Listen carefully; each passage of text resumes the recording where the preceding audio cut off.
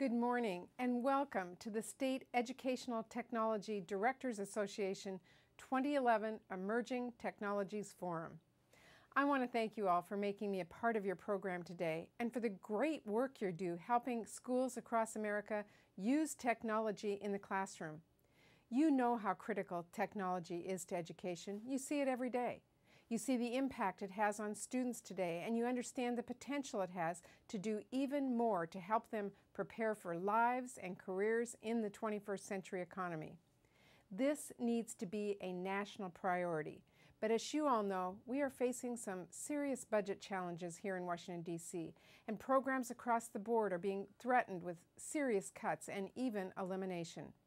But you should know that education technology is a priority for me.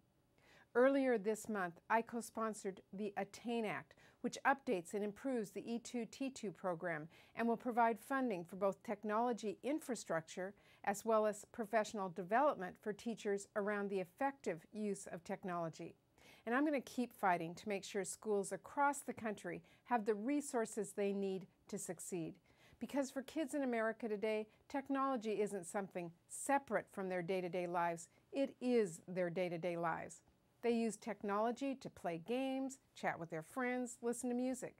They are constantly connected and are plugged into technology in ways those of us who don't come from that generation could never fully understand.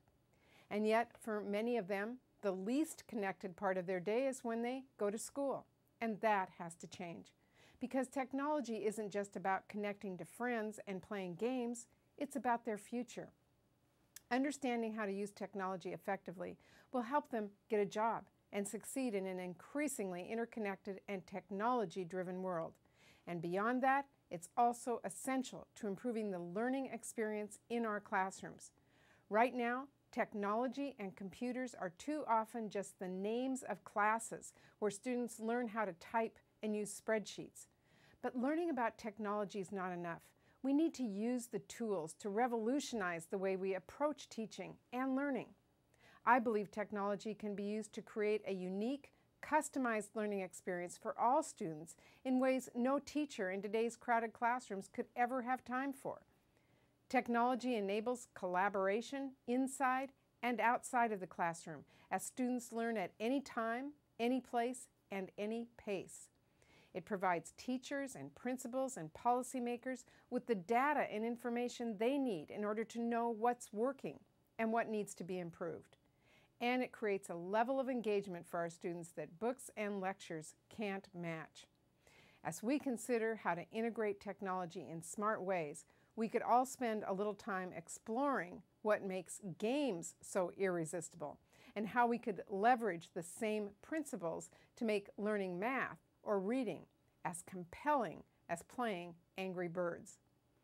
I am working hard here in Congress to make sure schools have the resources they need to use technology effectively, but I need your help to make this vision a reality.